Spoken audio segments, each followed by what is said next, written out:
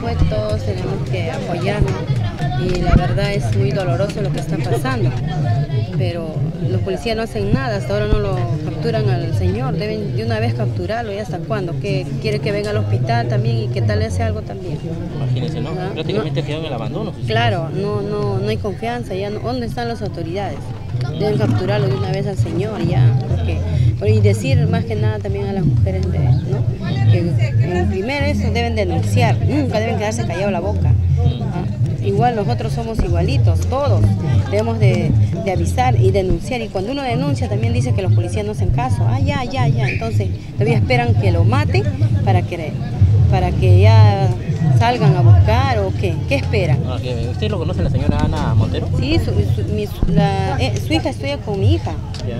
Nosotros somos del salón de los ¿Cómo era naturales. ¿Cómo era la señora? La señora, mira, la señora siempre, ella no, eh, tranquila, el señor siempre lo traía en su moto. Esto, la señora no bajaba de la moto, no entraba al, al colegio, no entraba, siempre así era cohibida, no era una persona que, eh, que tú vives tranquilo con tu pareja, tú eres sociable, andas, entras al colegio, ¿no? Pero la señora a veces parece que ahí le tendría miedo al señor, ¿qué será? Pues no, Eso, uno no sabe cómo viven en la casa, ¿no? Por eso yo he conversado con la señora y le digo, señor, pero usted cualquiera avisa, ¿no? Quizá le hubiésemos apoyado, no hubiese pasado estas cosas, ¿no? A veces uno quedándose callado, mira lo que nos pasa. Ahora, ¿cuál es el estado de salud? De repente tienen conocimiento ustedes, el Yo diagnóstico del Yo he médico. ido a visitar a la señora y, y ya está un poquito mejor, pero de todas maneras le han vuelto a operar y necesita una tomografía también. Necesita su tomografía para que lo vean cómo está por dentro. ¿Sí está cubriendo los gastos? ¿Qué sabe?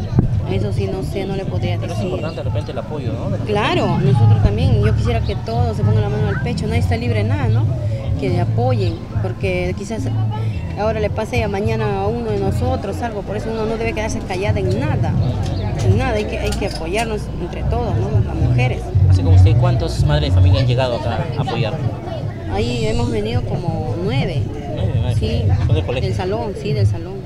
Sí, pues entonces este, acá apoyando a, a la, la- Ajá, apoyarlo porque a la amiga de, de mi hijo por lo que, por lo que le ha pasado y, y pues llamar a la población de que se pongan la mano en el pecho y que apoyen a esta niña más que todo que tanto lo necesita y, y pues y que se acerquen a donar sobre todo y el apoyo económico también que le hace mucha falta porque es sola, ahora está desamparada de sus padres. Y bueno,